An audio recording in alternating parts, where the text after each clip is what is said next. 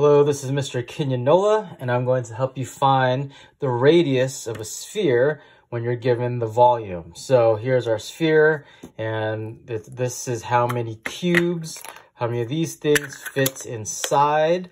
Uh, so for this example, uh, we have 2,304 pi cubes that fit inside of this sphere. And our goal is to figure out what the radius is. So uh, we need the formula for the volume of a sphere. So volume is equal to 4 pi r and cubed, because it's volume, how many cubes, all over 3.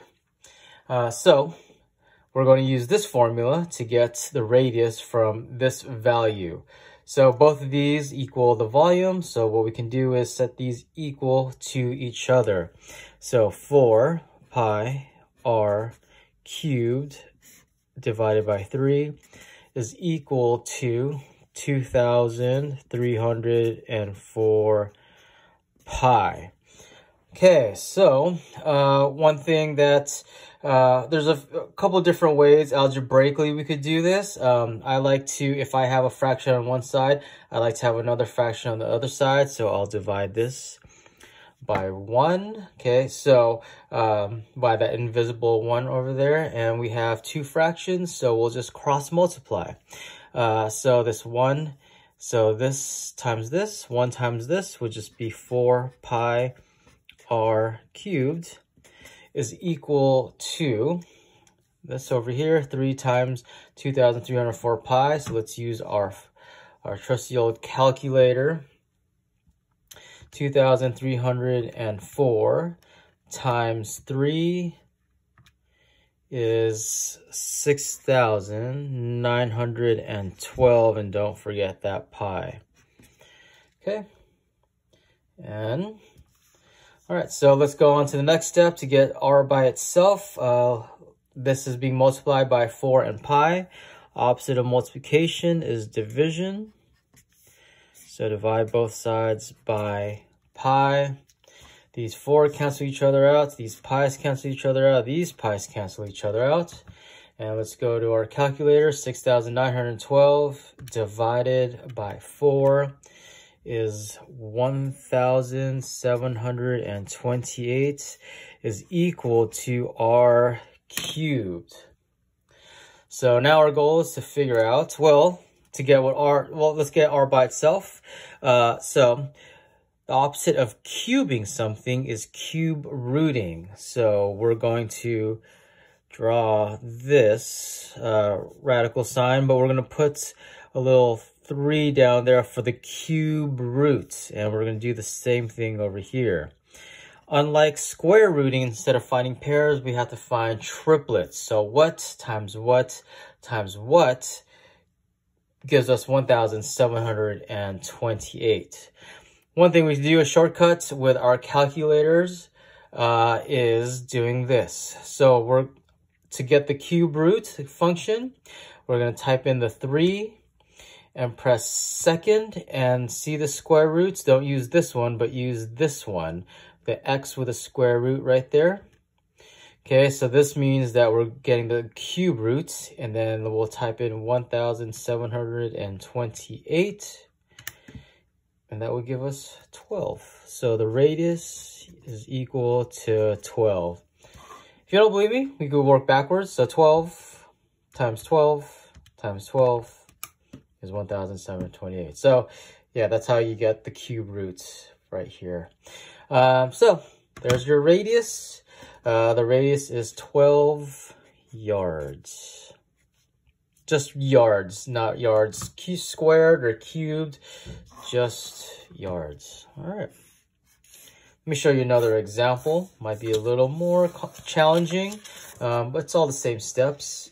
Okay, so find the radius of the sphere when the volume is 300 is 33.51 millimeters cubed. If you notice the difference between this problem and the previous problem is there isn't a, a pi there, like that there was a pi over here, but still the same examples. So uh, if you guys remember our formula, it's 4 pi r cubed divided by 3 we're going to take this formula, set it equal to the actual volume, which is 33.51. And since there's a fraction here, let's make this into a fraction by showing that invisible one. And let's just cross multiply. So 1 times all this is 4 pi r cubed is equal to, now let's take our calculators. So 3 times 33.51 is 100.53 and uh, so next step is this is 4 times pi times r cubed opposite of multiplication is division. We'll multiply both sides by 4 pi. And so the 4's cancel out, the pi's cancel out. There's no pi over here to cancel out this pi, so we're going to leave that there. We have r cubed is equal to. Now, when we put this in our calculator, okay, so we're, we're going to type in 100.53 divided by, and this is an important step. Put an, a parentheses here, and then type in the 4 and the pi and then close in that parentheses. You want this, this number to be divided by this uh, product. If you don't put a parentheses here and just put divided by 4 pi, you'll get a totally different answer because you'll get this divided by 4 and then multiplying it by pi. Uh, so this guarantees your order of operations or what you want uh, you you want you want the answer to be so which is the correct answer. And just press enter, and then you'll get this number, 7.99923 So we're not done yet. Uh, so we want to get rid of this cube. And the opposite of cubing something is cube rooting. So we're going to draw this radical symbol with a little 3 for the cube root. We're going to do the same thing, find the cube root of that.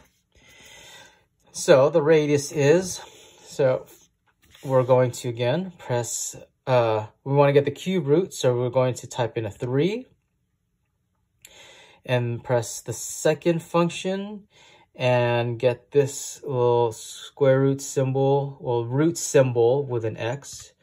So this will give us the cube root and then press second and answer, the answer button. Okay, so that takes this value and puts it right here for us and press enter. And our answer would be approximately 1.99999 3601 uh, millimeters.